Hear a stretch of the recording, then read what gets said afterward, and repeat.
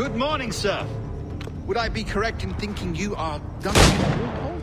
I am indeed. I thought as much. Woodes Rogers. A pleasure. The same. I must say, my wife has a terrible eye for description. I'm sorry. My wife. You met her some years ago at the Percy's Masquerade Ball. Ah, quite. She called you devilishly handsome. Obviously a lie to stoke my jealousy.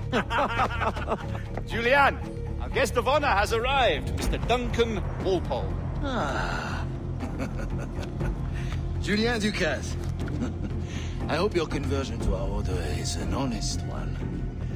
I have no love for assassins, but even less for liars.